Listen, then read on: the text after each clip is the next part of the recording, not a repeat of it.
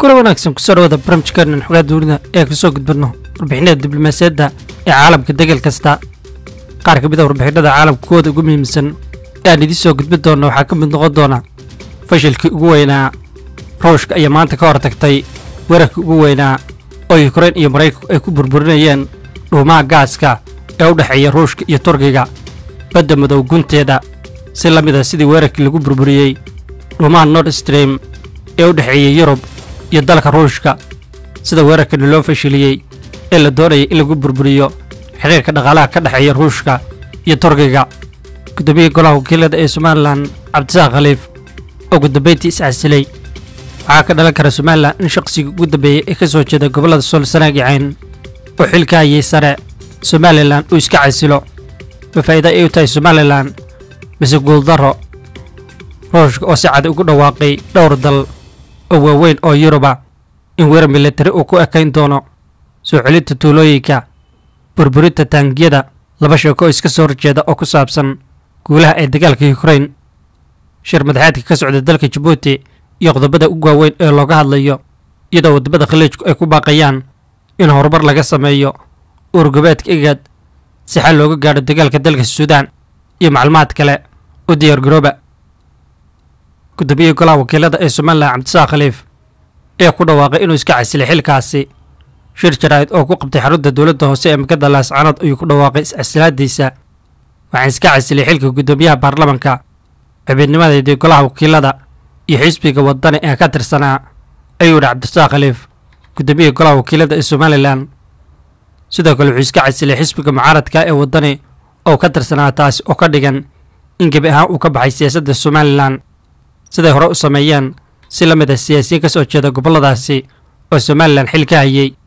cabdirasaaq khaliif oo ay si weyn u kala fogaadeen somalilan tan iyo dagaalka ka dhacay laascaanood ee xukuumadda somalilan waxay ka gudbisay dacwado ay doonaysay inay ku laasho xubinimadiisa golaha wakiilada. Cabdirasaaq khaliif oo ka mid ahaa siyaasigii ugu dambeeyey ee xilka ugu sarreeya ka hayay somalilan ee ka soo jeeda gobolka sool waxay ku eedaysay somalilan inuu jebiyey dastuurka ee maamulkaasi waxaana muddooyinkii dambe ay ku howlanayd sidii xilka maanta uu isaga casilay looga qaadi lahaa. Wuxuu horey si adag uga hor yimid duulaanka ee somalilan ay ku qaaday deegaanada gobollada sool sanaaga cayn gaar ahaan magaalada laascaanood isagoo tan iyo markii uu qarxay dagaalka laascaanood ku sugnaa magaalada laascaanood si kasta ahaatee sida ay qabaan xeel dheerayaasha iscasilaadda cabdisaaq khaliif guddoomiyihii golaha wakiilada ee somalilan ee ka soo jeeday laascaanood waxay somalilan ka sii fogeyn doontaa gobolka sool iyo guud ahaan gobollada sool sanaaga cayn mana noqon doonto in xilka laga qaado cabdisaaq khaliif xal somalilan oo deegaanadaasi ay u keentay balse waa mid ka sii fogeynaysa gobollada sool sanaag dagaalka dalka suudaan ayaa ahaa ajendaha koowaad ee shir saddex geesooda oo hordhac u ahaa shirka ururgobeedka igad oo ka dhacay dalka jabuuti waxaana ka qayb galay marka laga soo tago madaxweynaha dalka jabuuti madaxda koonfurta suudaan iyo dalka kenya iyadoo lagu falaqeeyey arrimaha ugu muhiimsan ee dagaalka dalka suudaan halka waddamada khaliijka ay ku baaqeen ururgobeedka igad in muhiimadda uu siiyo sidii xal looga keeni lahaa dagaalka dalka suudaan. Kulankan waxaa goobjoog ahaa madaxweynaha koonfurta suudaan salfakiir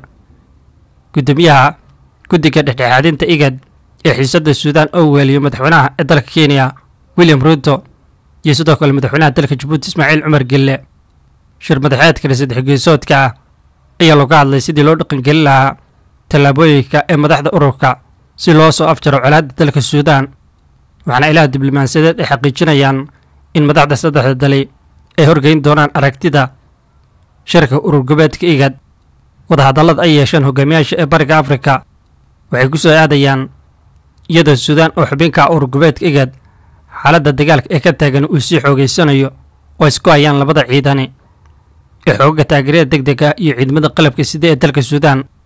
madaxweynaha dalka jabuuti ismaaciil cumar gelle iyo walaac xoogani ka muujiyey dhibaatada ka taagan dalka suudaan wuxuuna sheegay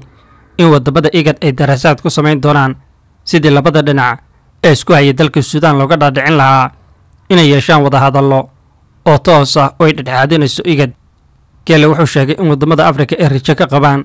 in mar kale dhinacyada isku haya dalka suudaan ay dib uga soo laabtaan xabad joojin waarta. Inkastoo ay burbureen xabad joojintii ugu dambeysay ee lagu gaadhay dalka sacuudiga gaar ahaan magaalada jidda. Dhankiisa madaxweynaha kenya william ruuto ayaa muujiyey sida uga xun yahay sii socoshada dagaalada u dhexeeya labada dhinac ee isku haya dalka suudaan. William ruuto oo kulan la qaatay madaxweynaha dalka jabuuti ismaaciil cumar geelle wuxuu sheegay in loo baahan yahay in madaxda ee dowlad goboleedka igaad ay shirkooda ku heshiiyaan tallaabo kasta oo lagu joojinayo dagaalka dalka suudaan. Waxaa muuqata in xaaladdu ay ka sii darayso ayuu yidhi madaxweynaha kenya isagoo intaa ku daray sababtoo khasaaraha nafeed ee bini'aadanimada burburka buundooyinka isbitaallada iyo dhismooyinka waa khasaare aad u weyn oo sababay dagaalka dalka suudaan. Shirkii hore ee shir madaxeedka igad oo dhacay bishii abriil ee la soo dhaafay iyo ururka igad wuxuu oggolaaday in saddexda dal ee maanta shiray dalka jabuuti ay xidhiir ka sameeyaan si loo joojiyo dagaalka suudaan waxayna ilaha diblomaasiyadeed sheegayaan in saddexda hogaamiye la filayo inay soo bandhigaan aragtidooda ee ururka ee lagu xalinayo qalalasaha suudaan oo ay ku jiraan sidii loo midayn lahaa dadaalada ee qaaradda iyo kuwa caalamiga ah. Dhinaca kale warbixinada kale ee caalamkana sarkaal sare oo ka tirsan dowladda ruushka wuxuu ku hanjabay in ruushku ay qaadi doonto duqeymo ballaadhani oo ka dhana dalalka yurub. Dhimir mirfadhiif ku-xigeenka madaxa gole amniga qaranka ee ruushka ayaa ka digay weerar ka dhana dalalka yurub haddii ciidamada neeto ay la saftaan dagaalka yukrain ee ka dhanka ruushka. Madaxweynihii hore ee dalka ruushka iyo ku-xigeenka madaxa gole amniga qaranka ee ruushka ee hadda dhimir mirfadhiif wuxuu ka jawaabay hadal ka soo yeedhay xogiyihii hore ee gaashaanbuurta neeto andrey fok rasmusos oo ku sheegay in qaar ka mid a waddamada xubnaha ka ah neeto ay si gaara ciidamo ugu diri karaan yukrain mirfadhiif ayaa ka digay fekerkani kuwa wada inay ku xisaabtamaan tallaabada ruushka ku-xigeenka madaxa gole amniga qaranka ruushka oo sii waday hadalkiisa ayaa yidhi hagaag ma weydiisay dadka degani dalal kale kuwa iyaga ka mida oo doonaya inay la dagaalamaan ruushka. Ma dhab ahaantii waxay rabaan weerarada gantalada hibersooniga ah oo ka dhacay yurub. Ku-xigeenka madaxa gole amniga qaranka ee ruushka mirfadhiif wuxuu si cad u sheegay in weerarada ruushka ay la kulmi doonaan haddii ciidamo ka socda neeto la geeyo dagaalka yukrain caasimadaha baariis barliin iyo sidoo kale london waana inay waddamadani u diyaargaroobaan jawaabta rasmiga ah ee ruushka uu ka bixinayo kordhinta neeto ee taageeradooda dagaalka yukrain intaa waxaa dheer waxaa jira wararka ka imanaya dagaalka yukrain oo iska soo horjeeda. Ciidamada yukrain waxay ku dhawaaqeen inay dib ula wareegeen gacan ku-haynta tuulooyin ciidamada ruushka ay gacanta ku hayeen koonfur bari ee dalkaasi taas oo ah deegaankii ugu horreeyey ee ku dhawaaqday yukrain weerarkeeda rogaal celiska inay kula wareegtay. Askarta yukrain iyo calanka yukrain ka taagay dhismayaal burburay. Muuqaalada la xaqiijiyey. Oo ay sii daayeen guutada lixdan iyo siddeedaad ee yukrain oo lagu sheegay inay ahaayeen tuulooyin gobolka donetski. Waxaan aragnaa natiijooyinkii ugu horreeyey ee dhadhaaqayada weerarka rogaal celiska guulaha laga gaadhay ayuu yidhi afayeen u hadlay qaybta ciidamada yukrain saraakiisha yukrain waxay sheegeen in tuulooyinkani ee ciidanka yukrain ay la wareegeen ay ku yaalaan duleedka gobollada donetski iyo sabroshiya waxaan cadowga ka saaraynaa dhulkeenna tan waa dareenkeenna ugu farxadda badnaa. Yukrain way ku guulaysan doontaa waxayna ka saaraysaa ruushka dhulkeeda ayuu yidhi. Yukrain waxay sidoo kale ku dhawaaqday in ciidamadeedu ay la wareegeen baledni oo ku taalla agaarka magaalada soledher oo ku taalla waqooyiga maqmud wasaaradda difaaca yukrain ayaa intaa ku dartay in ciidamada ruushka ay isaga baxeen bolodni dhaga kale wakaaladda wararka dalka ruushka ee taas waxay ku warantay in nidaamyada difaaca cirka ee ruushka ay soo rideen. Towreeya gantaal oo yukrain ay ku bartilmaameedsatay gobolka ruushka ee badhiyaneski oo ku yaalla gobolka badda osif cofiyeen u hadlay wasaaradda gaashaandhigga dalka ruushka wuxuu sheegay in ciidamada yukrain ay lumiyeen sagaal taangi oo ay ku jiraan afar taangi oo noocoodu yahay leyberd oo ah taangiyada jarmalku ay ku caawisay dalka yukrain ee ku horumarsan dunida. Dhaga kale siday sheegtay wakaaladda wararka ruushka ee taas yukrain ayaa isku dayday mid ka mid a falaalka ugu xun ee lagu kala jarayo xidhiirka u dhexeeya dalka ruushka iyo turkiga dhaqaale ahaan. Si la mid a weeraradii hore ay uga fulisay yukrain oo cadaymaha dhowaan ay muujiyeen in yukrain ay ka dambeysay qarxintii dhuumaha nord stream ee u dhexeeyey yurub gaar ahaan jarmalka iyo ruushka wakaaladda wararka ruushka ee taas waxay ku warantay in maamulka kiev ay samaysay iskuday aan lagu guulaysan. Weerar doonyaha aysan ciidi wadin oo ay ku weerareen markabka barasif oo ku sugnaan badda madow oo ilaalinayay dhuumaha gaaska ee stream ee turkiga iyo ruushka iyo sidoo kale blue stream ee qaybta koonfur bari ee badda madow. Wasaaradda difaaca ruushka ayay ka soo xigatay taas axaddii maanta abarakowdii iyo soddon saacadda b m-ka wakhtiga moscow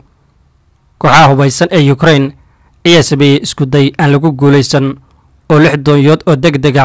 oo aysan cidi wadin ay ku weerareen markabkana ku sugnaan badda madow oo fulinaya ujeeddadiisa la socodka iyo ilaalinta amniga ee waddooyinka tuubooyinka gaaska ee turkiga ee stream ee badda black sea iyadoo iska caabiyey dhammaan doomahana iyuu burburiyey isagoo adeegsanaya hubka caadiga ah markabka ruushka ee ku sugnaa badda madow meel qiyaastii saddex boqoloo kilomitir koonfur bari ka xigta sefistobol ayay tiri wasaaradda difaaca ruushku markabka ku sugnaa badda madow ee barasif ayaa sii waday gudashadiisa howlihiisa loo xil saaray. Kadib iskudayga weerarka ee ukrain iyadoon la sheegay wax khasaare ah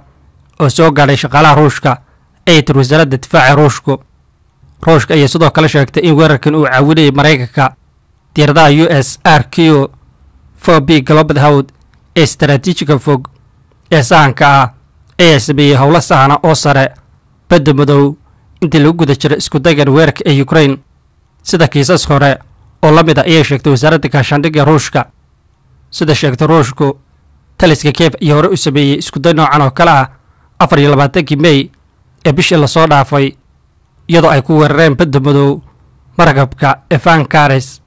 taas oo sababtay in dhammaantood la burburiyo doomaha aan cid wadin ee dalka ukrain